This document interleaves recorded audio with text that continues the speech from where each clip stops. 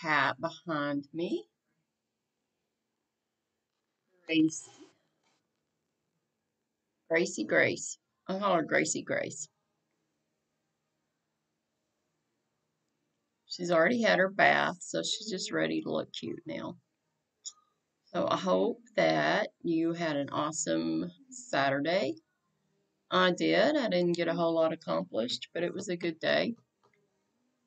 Um, we are going to be doing Psalms 38 tonight, and I want to.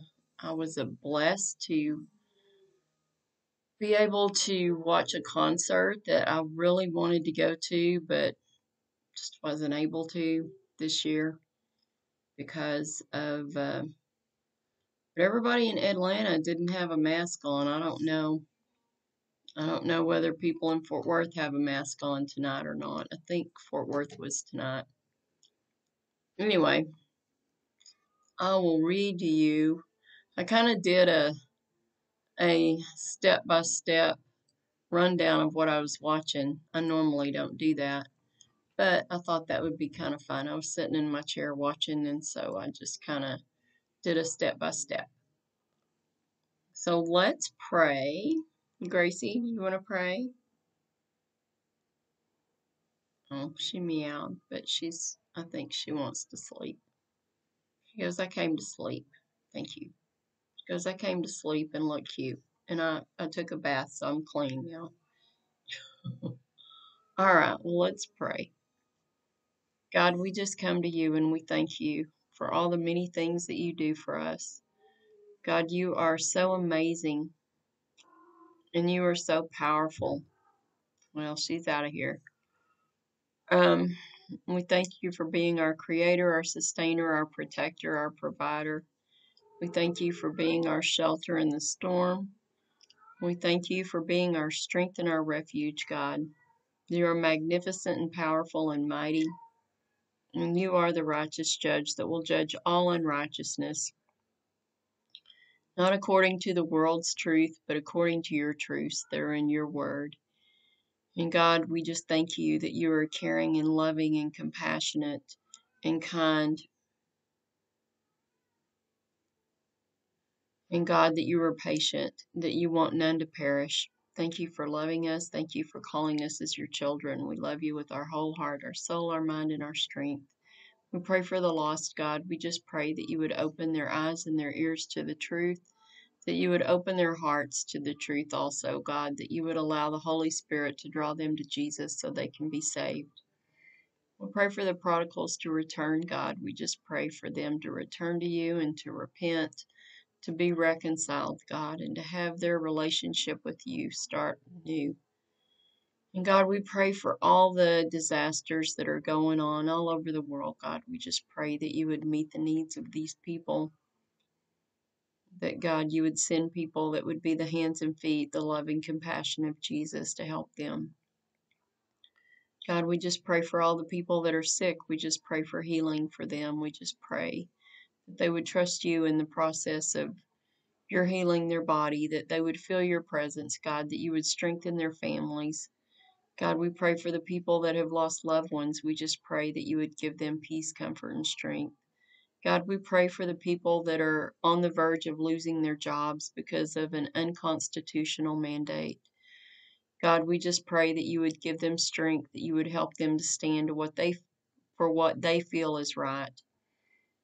And God, that you would, if they do lose their jobs, that you would bless them with a job that is a hundred times better than what they have and that these companies that are standing with this mandate, God, that they would suffer loss in their companies for not doing what's right. God, we just pray for truth to rise above all the lies that we hear. There are so many lies out there. We just pray for truth. We pray for your truth, God. We pray that you would give us the boldness to stand on your truth. And in Jesus' name we pray. Amen. All right. well, welcome, welcome. Everyone, welcome. I listen to one guy. He says, Welcome as you come in.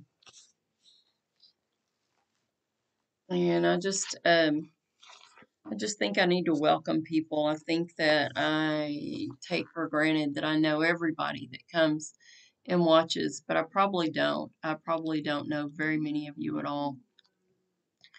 And so I just want to take some time to welcome you and to thank you if you've recently subscribed. I have a few new subscribers and I I cannot I can't find a list of who they are. So anyway, just welcome. Just know you're welcome. All right. Well, let's read Psalm 38. I was just reading a pop up thing about this mandate, this vaccine mandate, where many people are going to lose their jobs. Many people, the very people that put their lives on the line last year, are going to lose their jobs this year. The very people that got sick, got COVID, survived it, don't feel that it's necessary to get a vaccine, they're going to lose their jobs. That's just not right. This is not America. This is not the America that I grew up in. I don't want a new America. I don't want a reimagined America. I don't want to reset America. I want the America that we grew up in. That's what I want. And that America included God. God was not kicked out of that America. Okay. Prayer in time of chastening. A psalm of David to bring to remembrance. O Lord, do not rebuke me from your wrath, nor chasten me in your hot displeasure. For your arrows pierce me deeply, and your hand presses me down. There is no soundness in my flesh because of your anger, nor any health in my bones because of my sin. For my iniquities have gone over my head. Like a heavy burden, they are too heavy for me. My wounds are foul and festering because of my foolishness. I am troubled, I am bowed down greatly. I go mourning all the day long, for my loins are full of inflammation and there is no soundness in my flesh. I am feeble and severely broken. I groan because of the turmoil of my heart. Lord, all my desire is before you, and my sighing is not hidden from you. My heart pants, my strength fails me. As for the light of my eyes, it also has gone from me. All right, well let's let's um stop there for a minute because this is a psalm of David. And many times David was not following the ways of God. He was, he had a man killed because he wanted his wife. He had children with that wife. There were many things that David did that were not after the heart of God. But God forgave him and God did chasten him because God does chasten his children. And when we are doing things that are wrong, if you belong to God, if you have that Holy Spirit in your soul, you're not going to be comfortable for very long because you're going to start getting convicted. I pretty much get convicted now immediately. If I say something or even if I think something, a lot of times my next thought is, oh God, I'm sorry. That was just so wrong. Because the Holy Spirit convicts me. Like as soon as it gets out of my mouth or as soon as I think it, you know, the Holy Spirit is like, oh, that is not godly. That is wrong. So we have that conviction. And it sounds like David felt convicted. He felt broken he felt like God was not listening to him, like God was rebuking him and he was chastening him because God does that because we're his children. He wants what is best for us.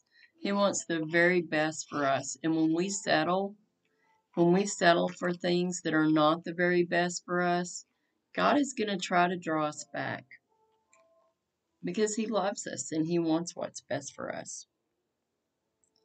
My, my loved ones and my friends stand aloof from my plague, and my relatives stand afar off. Those also who seek my life lay snares for me. Those who seek my hurt speak of destruction and plan deception all the day long. But I like a deaf man, but I like a deaf man do not hear, and I am like a mute who does not open his mouth. Thus I am like a man who does not hear, and in whose mouth is no response. For in you, O Lord, I hope. You will hear, O Lord my God. For I said, Hear me, lest they rejoice over me, lest when my foot slips they exalt themselves against me. For I am ready to fall, and my sorrow is continually before me. For I will declare my iniquity, I will be in anguish over my sin. But my enemies are vigorous, and they are strong, and those who hate me wrongfully have multiplied. Those also also who render evil for good. They are my adversaries, because I follow what is good. Do not forsake me, O Lord. O my God, be not far from me. Make haste to help me, O Lord, my salvation. So he's asking God not to be far from him and not to forsake him, and that he does see the Lord as his hope and as his help. Um, but you know, sometimes we stumble into things, sometimes innocently into things that just are not of God. But God always gives us the opportunity to come back to Him. He is a loving Father. He is the good, good Father. He is the one that will draw you back. He will forgive you, just like the prodigal son. He will forgive us when we do fall away. He forgave David, I don't know how many times, because there is no limit on his forgiveness. So let's see what our study part says. It says the psalmist felt isolated from God, as well as from family and friends in his suffering. He attributed his illness to divine displeasure and viewed his sufferings as God's chastening. Although sickness in general is a result in general is a result of sin in the world, all illness or infirmity is not due to the sin of the afflicted individual. On the other hand, some suffering directly results from specific sins in our lives. We cannot judge others when they are suffering. We can only seek to discern the reasons for our own sufferings.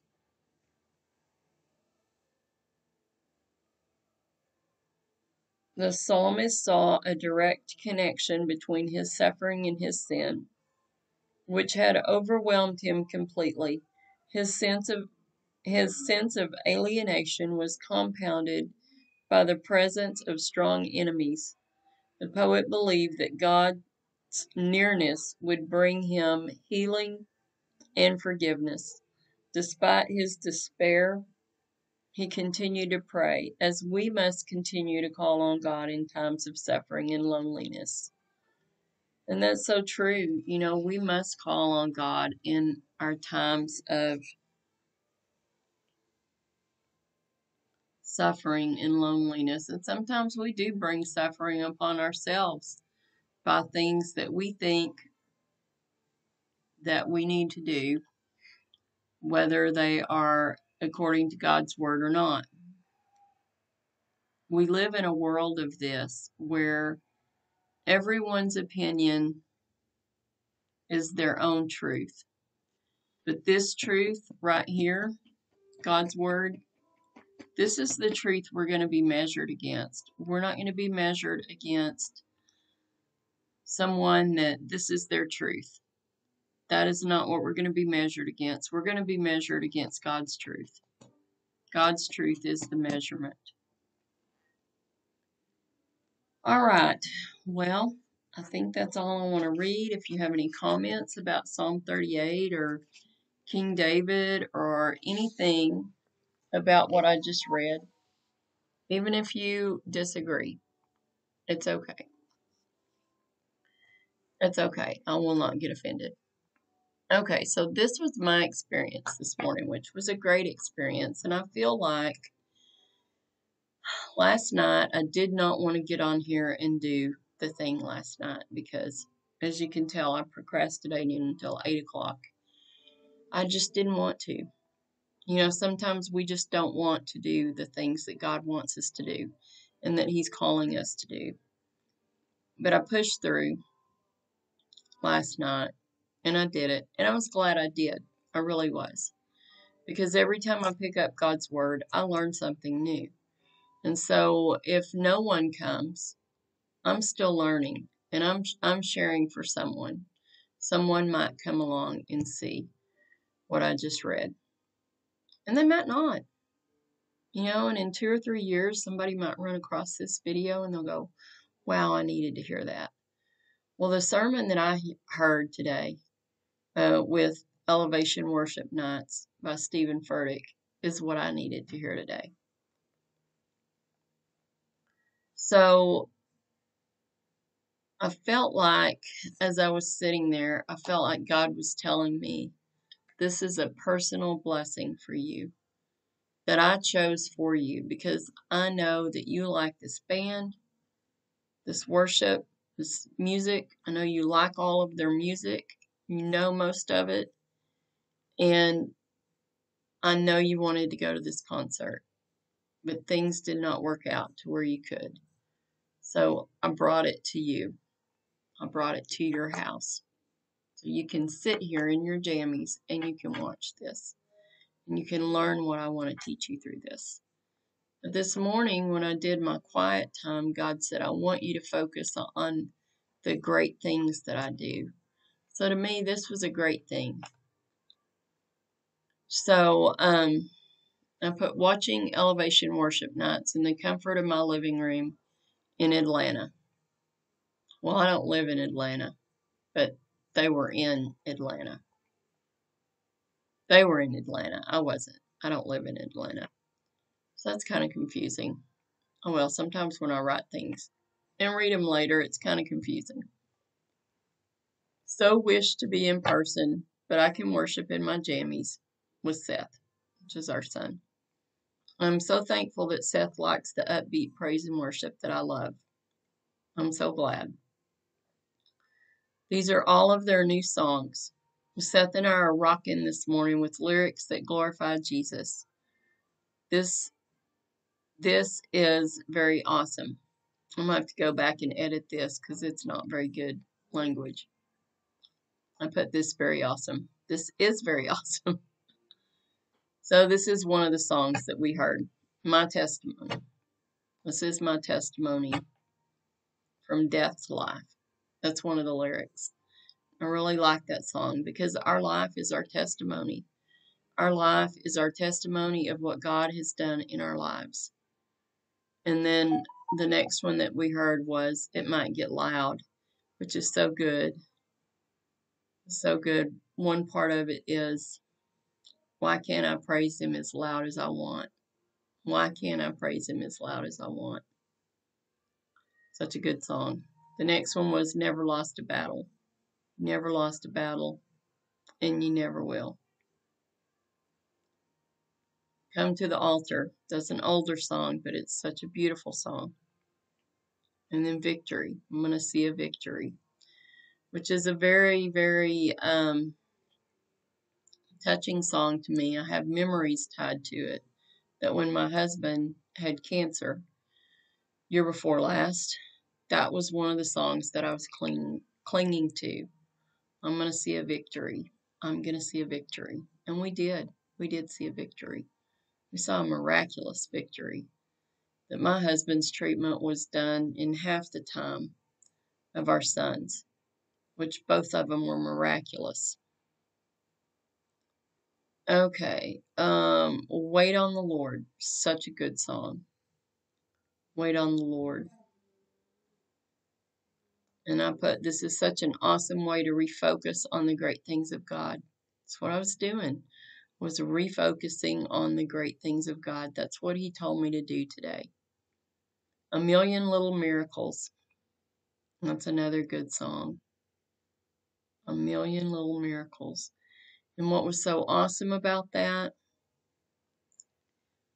At one point in the song, they had scrolling people's miracles in their names, like the type of miracle in their name. so cool. And then they just started flashing them, like all kinds of different miracles. It was so awesome. It was amazing. That was such. I said, how amazing. They are listing miracles on the screen, and they were.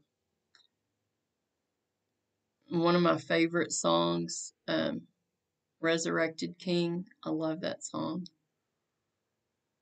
And I saw um, Elevation Worship, the band, Praise and Worship Band. I saw them at Outcry Tour 2016, 2017, I think 2016. I wish I would have written the the year in all of my t-shirts from concerts. That would have been quite helpful. Um, Our God has robbed the grave is part of that song.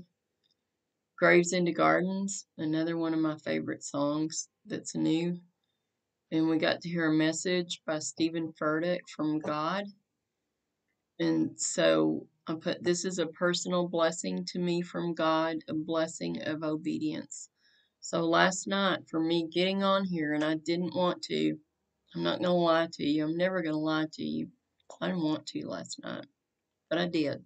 I pushed through. I did. Because I felt like maybe somebody needed to know something that Psalm 37 had to say. And so I did. And so that is what Stephen Furtick talked about. It's part of what he talked about. Um, this is a personal personal blessing to me from God, a blessing of obedience. I am there in spirit. I'm at that concert in spirit. God has a word for me today, and He has a word for you today. That was something that Stephen Furtick said.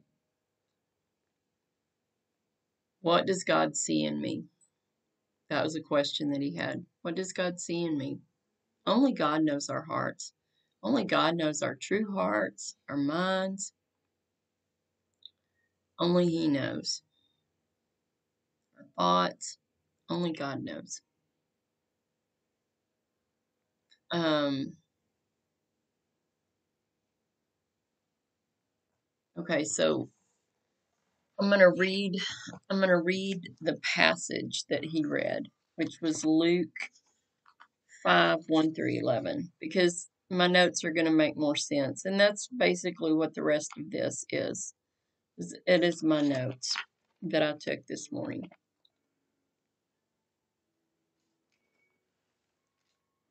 Luke 5. Seth is in there listening to Toby Mac. I think Ricky's taking a nap.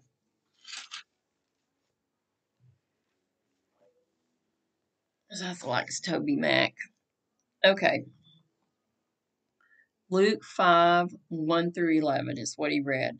So it was as the multitude pressed about him to hear the word of God that he stood by the lake of Gennesaret and saw two boats standing by the lake, but the fishermen had gone from them and were washing their nets.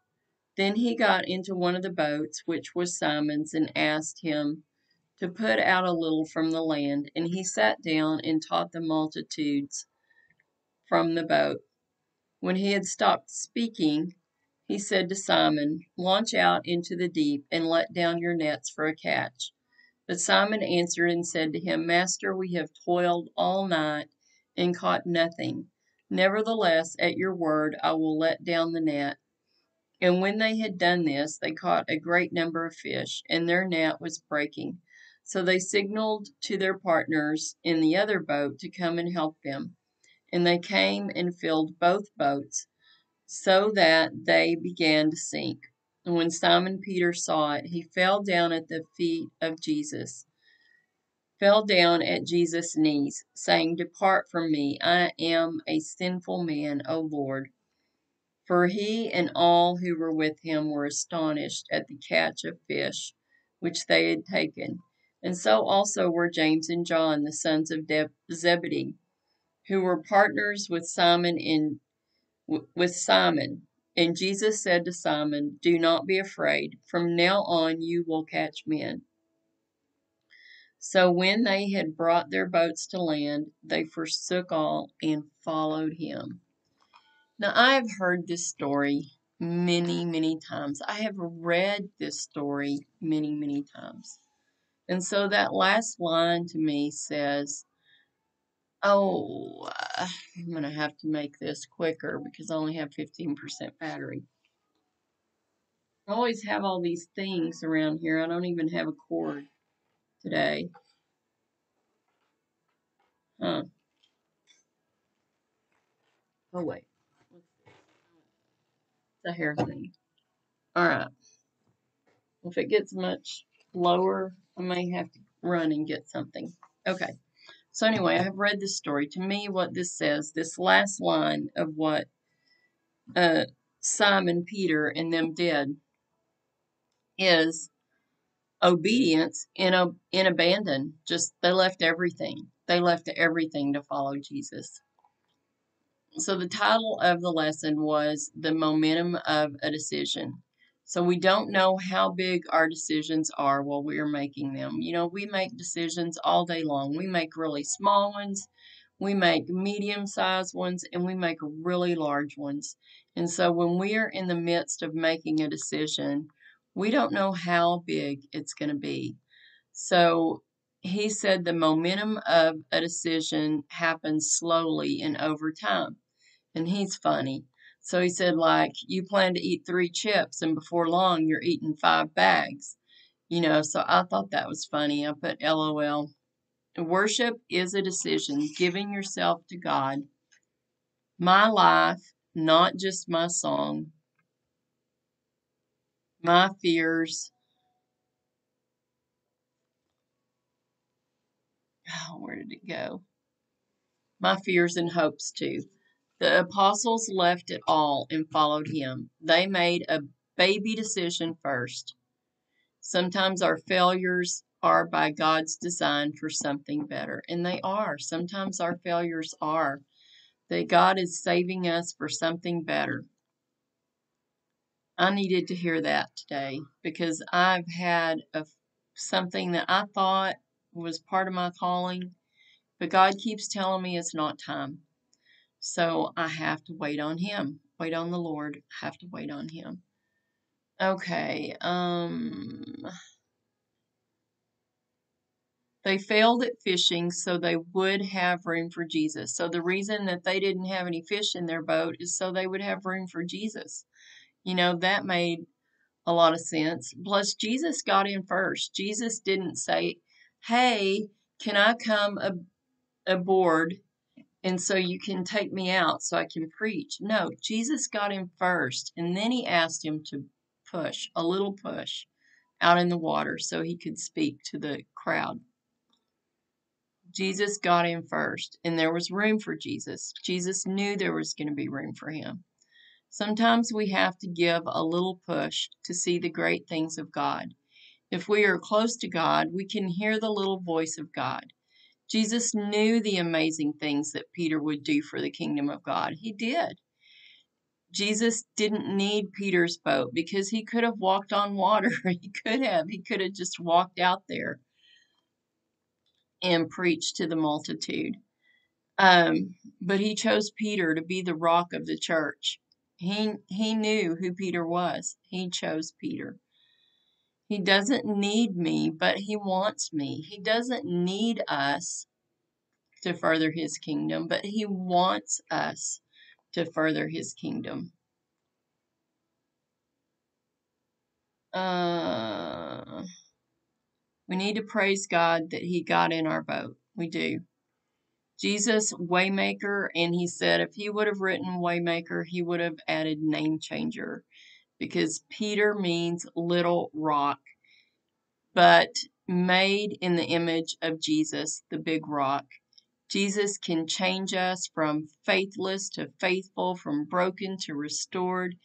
Jesus stepped in and he's not stepping out. Peter almost pushed Jesus away because he is a sinful man. We raise our hands because we are needy. Jesus knows what is inside us. Put out a little, the little rock. Peter had a ripple effect, and we can too. Jesus is calling us to be used to further his kingdom.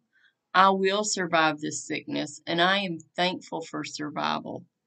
This is such an awesome message. I wanted to go see this live. We miss God in the details. We don't know what God is setting in motion. Jireh.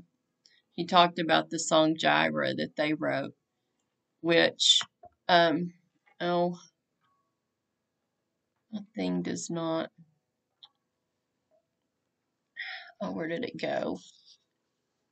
The Lord who sees, Jehovah Jireh. God knows all hearts, minds, details, and solutions and outcomes.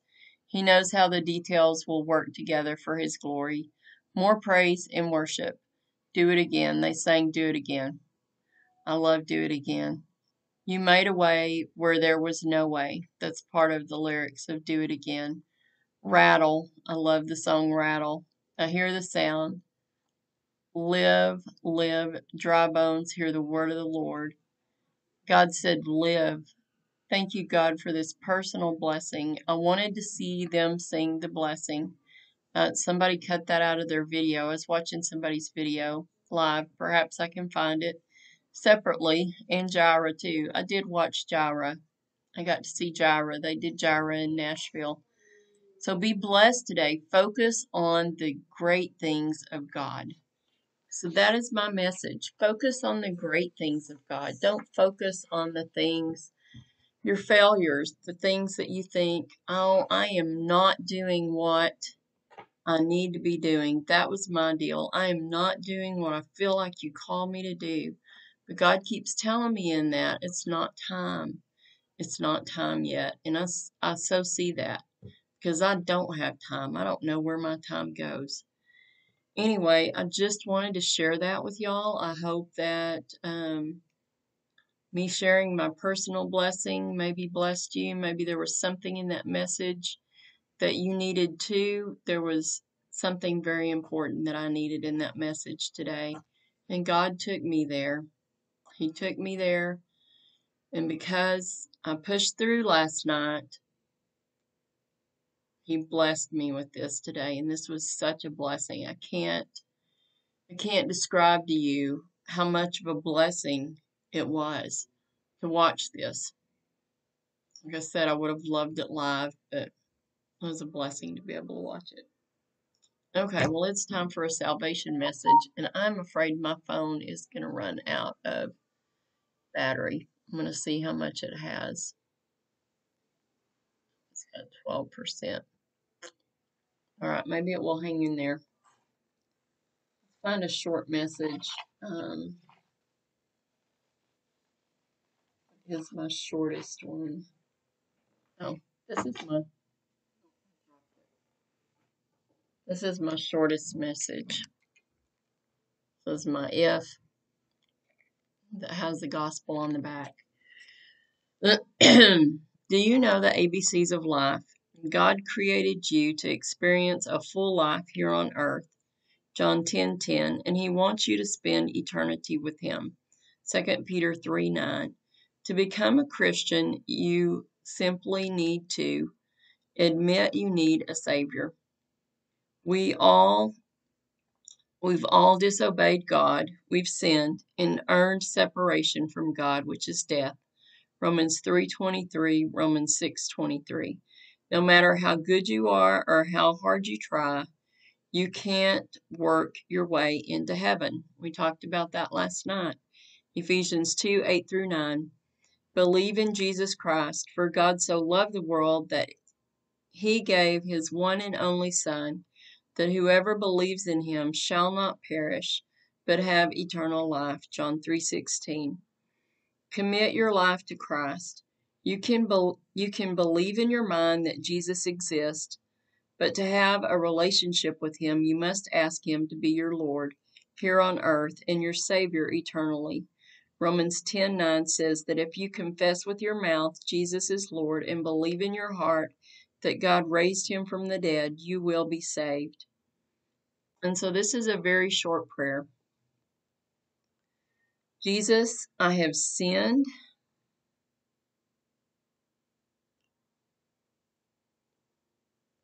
Thank you for dying for me so I could be forgiven.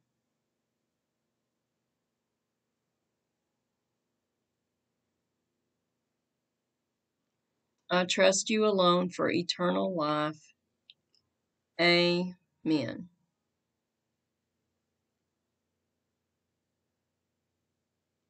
That was really short, but I went over all the scriptures that go with salvation. So if you accepted Jesus as your Savior by prayer, admitting that you're a sinner and asking for forgiveness, then welcome to the kingdom family of God. The angels are rejoicing, and um, your name is being written in the Lamb's Book of Life. You are now saved, sealed, and sanctified by God through Jesus Christ, His Son. And if you want to grow spiritually closer to God, then start reading His Word every day. Read at least a chapter and start in Matthew. And also pray. Pray to God every day and praise. Find you some praise music. There are all kinds of genres of praise music. There is Southern gospel. There is hip hop. There is um, rhythm and blues. There is praise and worship. There, there are all kinds of different praise and worship music. So just find something that you like and sit down and just praise God. Okay, I'm going to do the blessing. That is in number 624 through 26 from God. The Lord bless you and keep you. The Lord make his face shine upon you and be gracious to you. The Lord lift up his countenance upon you and give you peace. Thank you for joining me tonight. I am going to pray, and uh, my phone is fixing to die, and that's why you might feel like I'm rushing off. So let's pray. God, thank you for this time that you've given us. God, thank you again for my personal blessing today. I pray that maybe this was a personal blessing to someone else. God, I just, uh, we just praise you that you are our creator, our sustainer, our provider, our protector, our shelter in the storm, that you are our strength and our refuge that you know us so intimately, God. You know our minds, you know our hearts, you know our thoughts, you know what we've done in the past and what we're doing in the present and what we're going to do in the future, God. You know so much about us. We just thank you. We thank you for sending us Jesus to be our Savior, to be our shepherd, to be in front of us, to surround us, to protect us, God, to go and get us when we stray away. We thank you for that. We just pray that you would give us the boldness to go out and share your truths and share the gospel of Jesus, share the good news of Jesus. God, we just I just pray for anyone that comes and watches this, God, that you would protect them, that you would bless them, that you would provide for them and their families, that you would guide and direct them. And if they need Jesus as their Savior, that you would draw them to Jesus so that they can be saved. And in Jesus' name we pray. Amen. All right. My prayer and my pray and share warriors. I have a hard time saying that. I may have to change y'all's name to something that I can say a little better, but probably not. I've been doing this for over a year. Okay, well, y'all have an awesome rest of your night and an awesome Sunday tomorrow. I know it's Halloween, but you know what? I'm going to go and praise God. I'm going to go and learn more about God and I'm still on a 21 day sugar fast. Tomorrow is my last day. We're having a potluck at our church for our pastor for Pastor Appreciation Day um, month. So it's all going to be about God. It is not going to be about what Halloween has become. So much love and cyber hugs till I see you again. Good night.